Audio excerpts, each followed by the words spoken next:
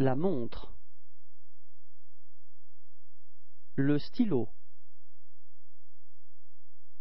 Les lunettes. La cravate. La veste. La boucle d'oreille. Les dossiers.